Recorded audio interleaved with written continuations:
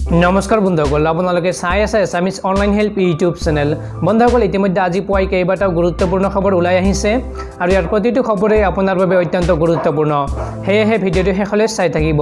আৰু বন্ধুসকল আজিৰ এই গুৰুত্বপূৰ্ণ খবৰকেইটা জনোৱাৰ আগতে আপোনালৈ এটা সৰু ৰিকুৱেষ্ট যদি ভিডিঅ'টো ভাল লাগে তেন্তে এটা লাইক কৰি দিব আৰু এনেকুৱা ধৰণৰ নতুন নতুন ভিডিঅ' পাবলৈ চেনেলটো ছাবস্ক্ৰাইব কৰি কাষত থকা বেল আইকনটো প্ৰেছ কৰি ৰাখিব। যাতে যেতিয়াই মই যিবোৰ ভিডিঅ' আপলোড কৰোঁ তাৰ নটিফিকেশ্যন মই সকলোতকৈ আগত আপোনাৰ মোবাইলত যায়। বন্ধুসকল প্ৰথম খবৰটিয়ে হৈছে কৰোণা ভাইৰাছৰ আতংক। ভাৰতত দ্ৰুতগতিত বৃদ্ধি পাই আছে কৰোণা ভাইৰাছত আক্ৰান্ত ৰোগীৰ সংখ্যা। ভাৰতত এই পৰ্যন্ত তিনি হাজাৰ দুশ ঊনত্ৰিছজন লোকৰ দেশত ধৰা পৰিছে কৰোণা ভাইৰাছ। ইয়াৰে দুই হাজাৰ নশ এঘাৰজন চিকিৎসাধীন হৈ আছে সুস্থ হৈ উঠিছে দুশ ত্ৰিছজন আৰু অষ্টাশীজন লোকে প্ৰাণ হেৰুৱাইছে।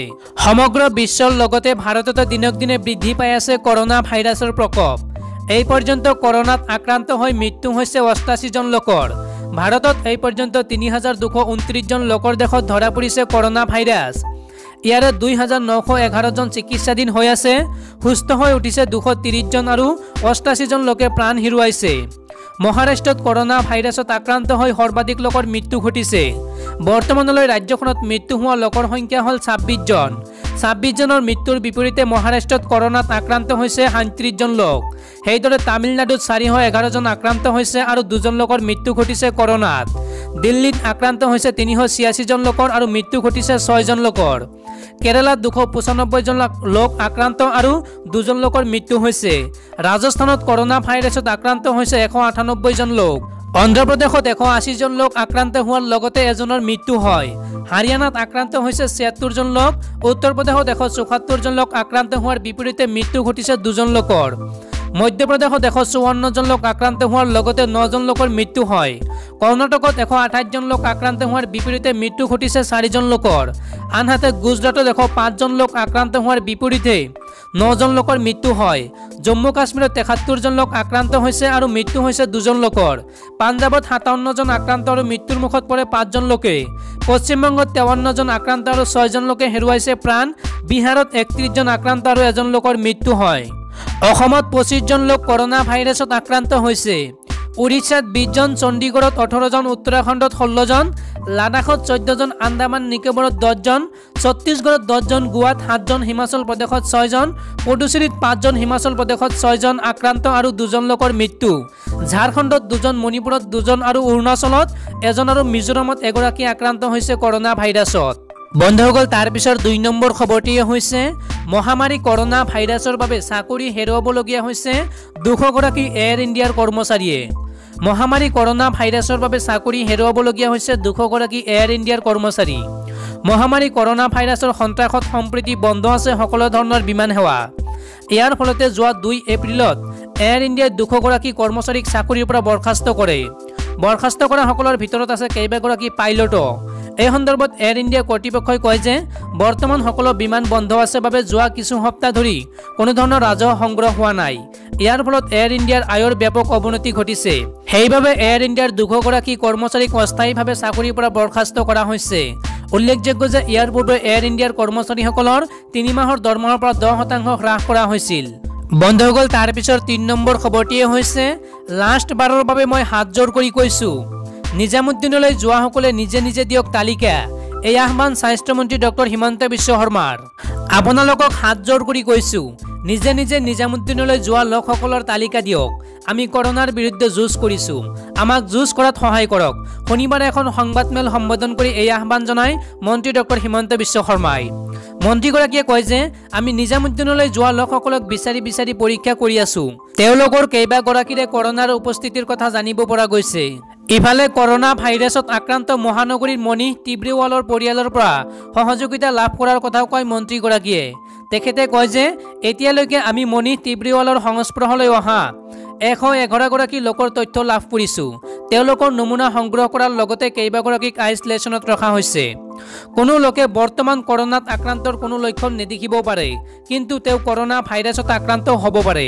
এতিয়ালৈকে স্বাস্থ্য বিভাগে নিজামুদ্দিনলৈ যোৱা লোকসকলক বিচাৰি বিচাৰি পৰীক্ষা কৰি আছে বুলি কৈ মন্ত্ৰীগৰাকীয়ে কয় যদিহে আমি তেওঁলোকক আৰু বিচাৰি নাপাওঁ তেতিয়া আমি আৰক্ষীক অৱগত কৰিব লাগিব। বন্ধুসকল তাৰ পিছৰ চাৰি নম্বৰ খবৰটিয়ে হৈছে মুখ্যমন্ত্ৰী সৰ্বানন্দ সোণোৱাললৈ তিনিটা দাবী প্ৰদেশ কংগ্ৰেছৰ সভাপতি ৰিপুণ বৰাৰ। মুখ্যমন্ত্ৰী সৰ্বানন্দ সোণোৱাললৈ তিনিটা দাবী প্ৰদেশ কংগ্ৰেছৰ সভাপতি ৰিপুণ বৰাৰ। ৰাজ্যত কৰোণাই ভয়াৱহ ৰূপ ধাৰণ কৰাৰ সময়তে লকডাউনৰ ফলত গ্ৰাম্য অঞ্চলসমূহত খাদ্য সংকটে দেখা দিছে বুলি মন্তব্য ৰিপুণ বৰাৰ। ভিডিঅ' কনফাৰেন্সৰ জৰিয়তে সৰ্বদলীয় সভা অনুষ্ঠিত কৰিবৰ বাবে মুখ্যমন্ত্ৰীক আহ্বান জনাইছে ৰিপুণ বৰাই। চৰকাৰে অসমৰ সমস্যা অকলে কেতিয়াও সমাধান কৰিব নোৱাৰিব বুলি দাবী ৰিপুণ বৰাৰ। এই ক্ষেত্ৰত সকলো ৰাজনৈতিক দলে একেলগে চৰকাৰক সহায় সহযোগিতা কৰিব লাগিব বুলি মন্তব্য কৰে ৰিপুণ বৰাই। মুখ্যমন্ত্ৰীয়ে সকলো বিৰোধী দলক আস্থাত লৈ মহামাৰীৰ বিৰুদ্ধে যুঁজ দিব লাগে বুলি ৰিপুণ বৰাই উল্লেখ কৰে। ৰাজ্য চৰকাৰে ক্ষুদ্ৰ উপাৰ্জনকাৰী লোকৰ বাবে ঘোষণা কৰা আৰ্থিক পেকেজ। লকডাউনৰ এঘাৰ দিন পাৰ হৈ যোৱাৰ পাছতো লাভ কৰা নাই বুলি ঘোষণা কৰি বৰাই লগতে কয় ক'ৰবাত কোনোবাই চেগা চুৰুকাকৈ পাইছে। গতিকে সকলো লোকে যাতে লকডাউনৰ সময়ছোৱাত ঘোষণা কৰা আৰ্থিক পেকেজ লাভ কৰে তাৰ বাবে চৰকাৰে ব্যৱস্থা গ্ৰহণ কৰিব লাগে। ইয়াৰ উপৰি শাক পাচলি ব্যৱসায়ীসকলে পাচলিসমূহ বিক্ৰী কৰিব নোৱাৰি নষ্ট কৰিবলগীয়া হৈছে বুলি উল্লেখ কৰি বৰাই কয়। মুখ্যমন্ত্ৰীয়ে এটা নিৰ্দেশ নিৰ্দেশ দিব লাগে যাতে কৃষি বিভাগ নাইবা সুলভ মূল্যৰ দোকানৰ জৰিয়তে ক্ৰয় কৰাৰ ব্যৱস্থা কৰিব পাৰে। তেতিয়া কিছু পৰিমাণৰ শাক পাচলিৰ বেপাৰী বা খেতিয়কসকলে সকাহ পাব। বন্ধুসকল তাৰ পিছৰ পাঁচ নম্বৰ খবৰটিয়ে হৈছে কৰোণা ভাইৰাছৰ বিৰুদ্ধে যুঁজিবলৈ ভাৰতক সাত হাজাৰ ছশ বিয়াল্লিছ কোটি টকাৰ আৰ্থিক সাহায্য বিশ্ব বেংকৰ। সমগ্ৰ বিশ্বতে নৰসংহাৰী ৰূপ ধাৰণ কৰা কৰোণা ভাইৰাছে ইতিমধ্যে ভাৰততো আতংকৰ সৃষ্টি কৰিছে। প্ৰতিদিনে এই মাৰাত্মক ভাইৰাছবিধত আক্ৰান্ত আৰু মৃত্যু হোৱা লোকৰ সংখ্যা বৃদ্ধি পাই গৈ আছে ভাৰতত এনে সন্ধিক্ষণতে বিশ্ব বেংকে ভাৰতক কৰোণা ভাইৰাছৰ বিৰুদ্ধে যুঁজিবলৈ আৰ্থিক সাহায্য আগবঢ়াইছে এক বিলিয়ন মাৰ্কিন ডলাৰ। ভাৰতীয় মূল্যত ইয়াৰ পৰিমাণ হ'ব প্ৰায় সাত হাজাৰ ছশ বিয়াল্লিছ কোটি টকা। এশ ত্ৰিছ কোটি জনসংখ্যাৰ বিকশিত ৰাষ্ট্ৰ ভাৰতেই হৈছে দক্ষিণ পূব এছিয়াৰ ভিতৰত বিশ্ব বেংকৰ পৰা সৰ্বাধিক পৰিমাণৰ আৰ্থিক সাহায্য লাভ কৰা দেশ। আনহাতে দক্ষিণ পূব এছিয়াৰ ভাৰতৰ প্ৰতিবেশী ৰাষ্ট্ৰক্ৰমে পাকিস্তান দুশ শ্ৰীলংকা এশ আঠাইছ দশমিক ছয় আৰু আফগানিস্তানলৈ এশ দশমিক চাৰি মিলিয়ন মাৰ্কিন ডলাৰৰ সাহায্য আগবঢ়াইছে বিশ্ব বেংকে। বন্ধুসকল তাৰ পিছৰ ছয় নম্বৰ খবৰটিয়ে হৈছে কৰ্তন কৰা নহয় দৰমহা। ন এপ্ৰিলত ৰাজ্যিক কৰ্মচাৰীয়ে লাভ কৰিব দৰমহা। ৰাজ্যত এতিয়া কৰোণা ভাইৰাছৰ সংহাৰী ৰূপ। কৰোণাৰ সন্ত্ৰাসৰ ফলত যথেষ্ট ক্ষতিৰ সন্মুখীন হৈছে ৰাজ্যৰ অৰ্থনীতি। প্ৰয়োজনত ৰাজ্যিক কৰ্মচাৰীৰ পৰা দহৰ পৰা বিছ শতাংশ দৰমহা কৰ্তন কৰা হ'ব বুলি ঘোষণা কৰিছিল মন্ত্ৰী ডক্টৰ হিমন্ত বিশ্ব শৰ্মাই। কিন্তু শনিবাৰে সংবাদমেল সম্বোধন কৰি মন্ত্ৰী শৰ্মাই কৰ্মচাৰীৰ দৰমহা কৰ্তন নহয় বুলি ঘোষণা কৰে। তাৰ মাজতে অহা এপ্ৰিল মাহৰ ন তাৰিখে ৰাজ্যিক কৰ্মচাৰী আৰু পেঞ্চনাৰসকলক দৰমহা আদায় দিয়া হ'ব বুলি জনায় মন্ত্ৰীগৰাকীয়ে। কিন্তু কৰোণা ভাইৰাছৰ হাস্পাতাল নিৰ্মাণৰ বাবে কৰ্মচাৰী মাত্ৰ এদিনৰ দৰমহা কৰ্তন কৰিব ৰাজ্য চৰকাৰে। কিন্তু যদি কোনো কৰ্মচাৰীয়ে দিব নিবিচাৰে তেনেহ'লে কৰ্তন নকৰে নকৰে বুলি জনায় মন্ত্ৰীগৰাকীয়ে। মন্ত্ৰীগৰাকীয়ে লগতে কয় যে ৰাজ্যৰ অৰ্থনীতি স্বাভাৱিক অৱস্থাত নাই। পেট্ৰল পাম্পো ভালকৈ চলা নাই। কৰ সংগ্ৰহ হোৱা নাই? অন্ধ্ৰপ্ৰদেশ চৰকাৰ মহাৰাষ্ট্ৰ চৰকাৰে দৰমহা কৰ্তন কৰিছে। আমি দৰমহা কৰ্তন কৰা নাই। পাঁচ লাখ কৰ্মচাৰী আছে। প্ৰতিজন কৰ্মচাৰীয়ে ওচৰৰ পাঁচটা পৰিয়ালক সহায় কৰক এই দুৰ্যোগ কালত। বন্ধুসকল তাৰ পিছৰ সাত নম্বৰ খবৰটিয়ে হৈছে প্ৰধানমন্ত্ৰীৰ আহ্বানৰ পিছতে দেওবাৰে নিশা বিদ্যুৎ যোগান ব্যাহত কৰাৰ প্ৰস্তুতি পাৱাৰ গ্ৰীডৰ। নিজৰ টুইটাৰ একাউণ্টত এটা ভিডিঅ' যোগে প্ৰধানমন্ত্ৰী নৰেন্দ্ৰ মোদীয়ে অহা দেওবাৰে নিশা ন বজাত ন মিনিটৰ বাবে বিজুলী বাতি বন্ধ কৰি আন্ধাৰত মমবাতি তেলৰ চাকি আদি জ্বলাবলৈ দেশবাসীক আহ্বান জনাইছিল। প্ৰধানমন্ত্ৰীৰ এই আহ্বানৰ পিছতে দেশজুৰি তীব্ৰ প্ৰতিক্ৰিয়াৰ সৃষ্টি হোৱা পৰিলক্ষিত হৈছে। তেনে সময়তে পাৱাৰ গ্ৰীডে দেওবাৰে নিশা ন বজাত বিদ্যুৎ যোগান ব্যাহত কৰিব বুলি বাতৰি প্ৰকাশ পাইছে। শক্তি মন্ত্ৰালয়ৰ সচিব এছ এন চাহায়ে কয় যে পোন্ধৰ গিগাৱাট বিদ্যুৎ প্ৰবাহ হঠাতে উক্ত দিনা বন্ধ কৰি দিয়াৰ বাবে প্ৰস্তুতি চলোৱা হৈছে। ইফালে দেশৰ আটাইতকৈ জনবহুল ৰাজ্য উত্তৰ প্ৰদেশৰ পাৱাৰ ট্ৰেন্সমিশ্যন ক্ৰপে উক্ত দিনা বিদ্যুৎ সেৱা বন্ধ কৰাৰ বাবে এখন পত্ৰ প্ৰেৰণ কৰিছে বুলি জানিব পৰা গৈছে। চাহাই আৰু কয় যে দেশৰ সমগ্ৰ হাইড্ৰপাৱাৰ প্ৰতিষ্ঠানবোৰে বিদ্যুৎ সেৱাৰ যোগান হঠাৎ বন্ধ কৰাৰ বাবে এক বুজাবুজিত উপনীত হৈছে। উল্লেখযোগ্য যে যোৱা বাইছ মাৰ্চত প্ৰধানমন্ত্ৰীয়ে দেশজোৰা জনতা কাৰ্ফিউ পালনৰ দিনা সন্ধিয়া পাঁচ বজাত দেশবাসীক কাঁহী বাতি বজাই দেশৰ চিকিৎসা কৰ্মীসকলক উৎসাহিত কৰিবলৈ আহ্বান জনাইছিল। কিন্তু উক্ত দিনা দেশৰ বিভিন্ন প্ৰান্তত জনতাই হাতে হাতে কাঁহী বাতি লৈ বজাই বজাই এক প্ৰকাৰৰ নাভূত নাশ্ৰুত কাণ্ড কৰা দেখা গৈছিল। বন্ধুসকল তাৰ পিছৰ আঠ নম্বৰ খবৰটিয়ে হৈছে কভিড নাইণ্টিনৰ প্ৰথমজন ৰোগী ধৰা পৰা পেনিছ গাৰ্ডেনৰ পৰা দুদিনমান পূৰ্বে আটক কৰা হৈছিল দুজন চীনা নাগৰিকক। এতিয়া চৰ্চাত স্পেনিছ গাৰ্ডেন।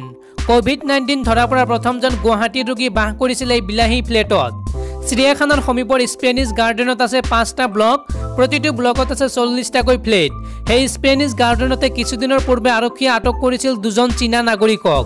নিৰ্দিষ্টকৈ কোন তাৰিখত চীনা নাগৰিক দুজনক আটক কৰা হৈছিল সেই কথা প্ৰশাসনে স্পষ্ট নকৰিলেও এক সূত্ৰৰ মতে বিছ মাৰ্চত এই চীনা নাগৰিক দুজনক আৰক্ষীয়ে উক্ত বিলাহী ফ্লেটৰ পৰা আটক কৰি নিছিল।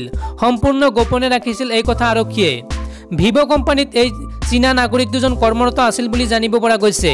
এতিয়া সেই ফ্লেটটোতে কভিড নাইণ্টিনৰ প্ৰথমগৰাকী ৰোগী ধৰা পৰাৰ পিছত বিষয়টো পুনৰ চৰ্চা হৈছে। বন্ধুসকল তাৰ পিছত ন নম্বৰ খবৰটিয়ে হৈছে ছ'চিয়েল মিডিয়াত উল্টা পাল্টা পষ্ট দি থাকিলে খেদি খেদি ধৰিম এই ঘোষণা আৰক্ষী সঞ্চালক প্ৰধান ভাস্কৰ জ্যোতি মহন্তৰ। ৰাজ্যজুৰি এতিয়া কৰোণা ভাইৰাছৰ আতংক দিনক দিনে বৃদ্ধি পাইছে আক্ৰান্তৰ সংখ্যা। এনে সময়তে কিছু লোকে ছ'চিয়েল মিডিয়াত উৰা বাতৰি বিয়পাৰ লগতে বিতৰ্কিতমূলক পষ্ট দিয়া পৰিলক্ষিত হৈছে। এনে ক্ষেত্ৰত কঠোৰ হৈছে আৰক্ষী প্ৰশাসন। এই সন্দৰ্ভত D G P Bhaskar Jyoti মহন্তই কয় যে এয়া এক বিপদৰ সময়। এনে সময়ত ধৰ্মৰ নামত সাম্প্ৰদায়িক মন্তব্য কৰাসকলৰ প্ৰতি কঠোৰ হ'ব আৰক্ষী। আমি কেইবাটাও দুৰ্ভাগ্যজনক উৰা বাতৰি দেখিছোঁ। এইবোৰৰ প্ৰশ্ৰয় নিদিবলৈ জনসাধাৰণক আহ্বান জনোৱাৰ লগতে সঠিক তথ্য জানিবলৈ হ'লে আৰক্ষীৰ পৰা খবৰ লওক বুলি মন্তব্য কৰে। এনে বিতৰ্কিত পষ্ট দিয়া কেইবাজনৰ লোকক আমি কৰায়ত্ব কৰিছোঁ। ছ'চিয়েল মিডিয়াত উল্টা পাল্টা পষ্ট দি থকাসকল হাৰি নাযায়। আমি তেওঁলোকক খেদি খেদি ধৰিম আৰু ভাল শাস্তি দিম বুলি মন্তব্য কৰে ডি জি পিগৰাকীয়ে